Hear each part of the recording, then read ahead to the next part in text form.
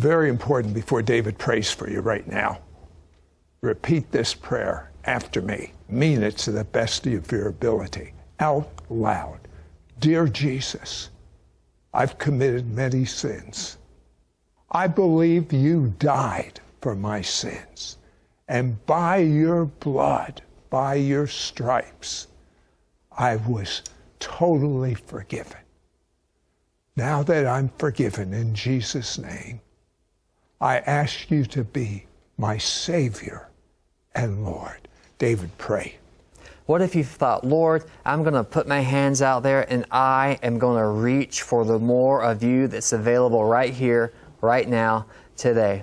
I believe that some of you that are watching, you've been waiting for a season where God's breaking through. I think that season and that moment's right now. God's breaking through. Heaven is invading your life. Begin to look for Him. If you have financial needs, look for Him as the answer to your finances. You have physical needs. Look for Him as the answer to your physical needs.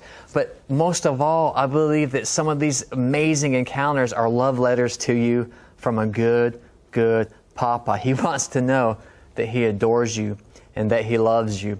And I believe that you're going to experience, because this isn't just for me, this isn't just for people in church history or even in the Bible. God is making Himself available in a brand new, glorious, and powerful way. So, Jesus, touch your people with your encounters and with your glory that they may know you more. In Jesus' name.